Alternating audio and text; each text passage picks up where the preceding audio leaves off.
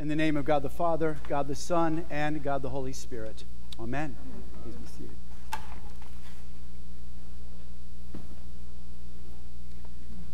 Well, we are in the period of the church year called the Great 50 Days.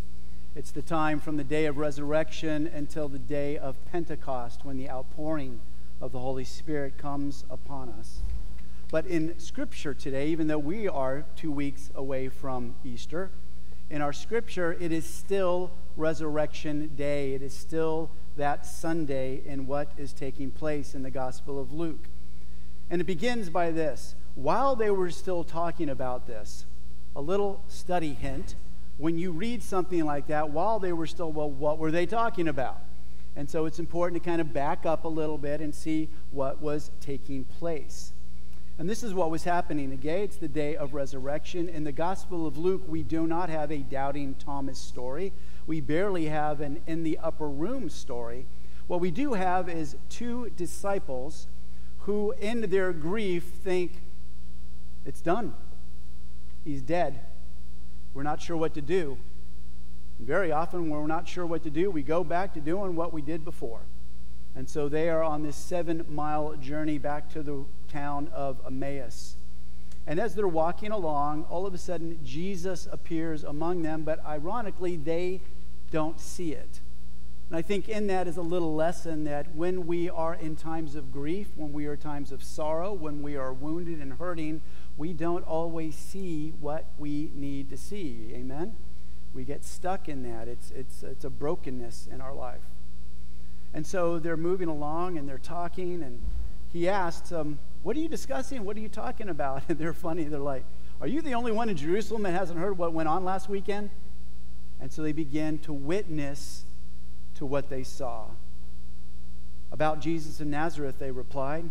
He was a prophet, powerful in word and deed before God and before all people. And the chief priests and our rulers handed him over to a sentence of death. And they crucified him. And we had hoped that he would be the one that we were looking for. We had hoped he would be the promised one, the Messiah. But it was more in the third day he said he would come back. And our women were even amazed it was an empty tomb, but because they hadn't seen Jesus, even though ironically they're in the middle of talking to him. They were still downhearted, broken hearted. And so as they continue to walk, they're engaging in discussion. It's getting late. And they say, Well, Jesus, don't, don't go on. They don't say, Jesus, sir, don't go on. Come and have, have dinner with us. We'd love to have you join us. And so as they sat down at table, he took bread, gave thanks, broke it, handed it to them, and in that moment of sacramental clarity, they see that it's Jesus and their hearts are warmed. And in that instant, he evaporates, he disappears. And they go, Well, didn't you feel that? You know, they go, Now they're justifying. I thought it was him. No, you didn't. You know, they kind of go back and forth. And they literally get up from dinner, walk back the seven miles so that they could tell their friends in Jerusalem the other disciples what was taking place. While they were still talking about this, so that's what happened, Jesus now shows up in their midst yet again. And he says this Peace be with you. Who wants a little more peace in their life? We are surrounded by chaos in the world in ways that maybe it's just because we get data in, in 24 seconds from around the world. I'm not sure. But it's getting pretty rough out there. And Jesus reminds us today the importance of peace in our life. Peace be with you. And they were startled and they thinking he was a, a ghost. And so Luke gives us three proofs of his resurrection. The first one is that he is there and he shows them physically in body. See my hands again. See my side. See the wounds in my feet. I am flesh and blood.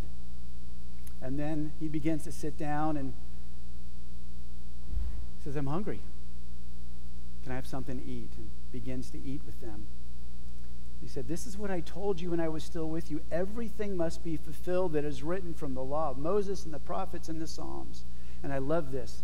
And then he opened their minds so they could understand Scripture. What a gift that must have been. But see, that is the gift that's available to us through the gift of the Holy Spirit. That if we are obedient, if we are open, God will open us because His Word is alive and breathing and effectual. I love it. We in the Episcopal Church, if you don't know, run on what's called a three year lectionary. We rotate the same readings over a three year period and then we start all over again. So now that I've been a priest for 20 years, I've done this cycle a number of times. And it'll be always interesting. I look back and go, what did I preach on this topic three years ago? And first, I usually go, ooh, what was I thinking? That's horrible. but more importantly, I read it again, and something new, something different, something vital pops out because I'm not where I was three years ago. I hope the church isn't where it was three years ago. And I believe that God speaks to us in new and fresh ways when we engage in His Word with an open mind to hear something new, to be fed by His Word in that sense. And so He opens their minds to Scripture and said, This is what was written that Christ will suffer and rise from the dead, and on the third day, repentance and forgiveness of sins will be preached in his name to all the nations, beginning in Jerusalem, and you are my witnesses to this. You have seen, you have experienced, you have been front and center to the miracles, to the healings, to the feeding of the 5,000, to the crucifixion, and now to resurrection glory. What does it mean to be a witness? Well, first we experience something or we see something and then we are called to report what we've seen honestly. In court, they make you take an oath before you are a witness. Hand on the Bible. Do you swear that the evidence you're about to give will be the truth and not just the truth, the whole truth, and nothing but the truth? And we respond, I do. We take an oath that truth is vital. And what we learned today is that for there to be peace in our life, for there to be peace in the world, there must be a foundation of truth that it's built on. Deception, distortion does not bode well for relationship building, does it? If it, you have ever been told half truths by somebody you trust, by somebody you love, it breaks down the relationship. And what I tell, we had a beautiful wedding yesterday. I'll go into that in a little bit. But what I tell couples is that all intimacy is built on trust and respect within a relationship. If there's no trust, you can't open yourself up to death. If there's no respect, how do you honor the unique gifts and talents and personality styles that we each have? And so, truth must be the foundation, no matter how crazy, no matter how contentious, no matter how challenging, no matter how convenient, because sometimes truth in our life can, we feel, be inconvenient, pushes us out of our safe place, out of you. I don't know about you, but I like in my life to have all of my boxes ordered in alphabetical order. And God is a loving God that says, bink, bink, bink, Jim, I want you to put them in the order I give you, not the order you desire. But truth, again, is the basis of this witness. And we hear in Scripture, the truth will set you free. If you've ever had a burden on your heart, and you finally, either in confession or talking with someone you love, you speak that truth, it's freedom, isn't it? It's freedom. Truth is so important, in fact, that there's a penalty called perjury if you don't speak the truth in a court of law.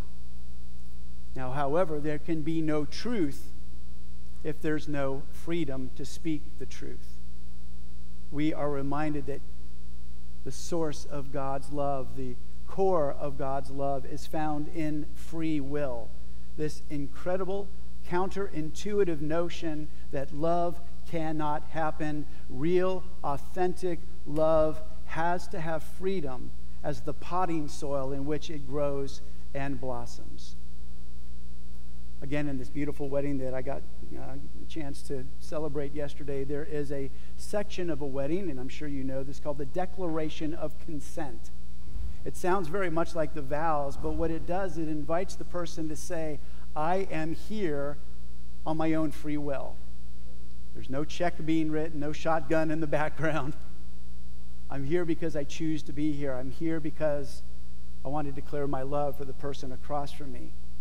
And they are asked this question Will you have this man or woman to be your husband or wife, to live together in the covenant of marriage? Will you love, comfort, honor, and keep in sickness and in health, forsaking all others as long as you both shall live? And the response is, I will. By the way, a little note here it's not I do like we see in the movies. And so, those of you that are English teachers, I'm going to slash this a little bit, but I do is a present tense imperative. I do now, I might not tomorrow. I will is a future continuous. I will. I will strive every day to be the best husband, to be the best wife, to be the best spouse that I can be. Some days will be great, some days won't, but I will do this and give it my best shot every single day. In a few minutes, we're going to have a baptism. We bring the Howell children forward to be bathed in the waters of baptism, that we die to ourselves and be reborn again. And we will be witness to this sacramental act. And not only witness to it, but we engage in it, don't we? We will be asked, well, all of you who witness this, do all in your power to uphold these young people in their baptismal vows. Very much like a wedding. I emphasize this at a wedding. We ask people, Will all of you who witness these, these promises, do all in your power to take care of them. And they say, we will. And I always want them to really lean into that because when we're at a wedding, we're not just there because someone picked us up off the street. We're a family, we're a friend, we're intimately connected. And as we know, Family and friends aren't always helpful when couples are in trouble.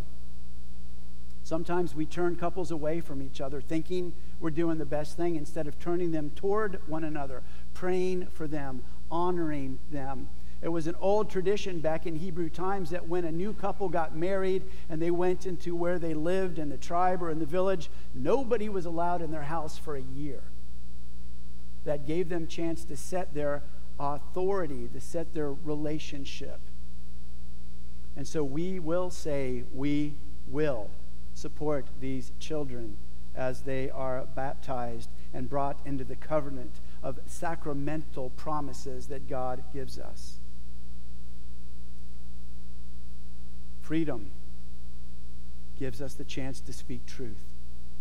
Truth invites peace in our life and we can be a witness to that process. As the disciples were a witness to what Christ called them to, we are to be witness here. And as Christ invites them to peace, he opens their minds so that they could understand Scripture in a brand new way because his word is the way, the truth, and the life. That is another process that we are invited into that if we follow the way of Christ, how he did it, how he extended love and care and compassion and redemption, and we follow that, then we are brought to new truth in our life and given not only new life in this world, but in the world to come.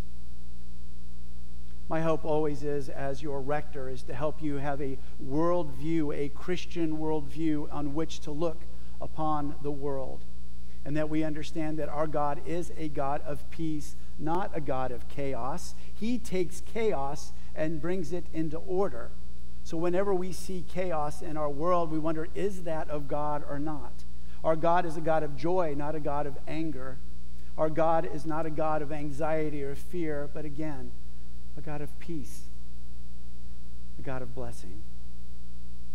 My hope is that as we join together in the coming years on this journey of the Spirit, that our eyes will be open to new truth about who we are individually, but who we are as a parish, and what is God calling us to in this season of life and love, that we may allow His light to shine in a profound way, and that we will be agents of peace, agents of truth in our lives. But that begins not just within a congregational setting, it begins in every decision and every choice that we make. Are we living boldly into the truth of what God calls us to? Because sometimes it is challenging. And it calls us to stand firm in grace and in love to present that truth to one another, but also to be willing to hear it when someone brings it to you as well. So, brothers and sisters, may the peace of God, which passes all our understanding, keep your hearts and minds in the knowledge of God, but more importantly, of his Son, our Savior, our Redeemer, our Lord, Jesus Christ.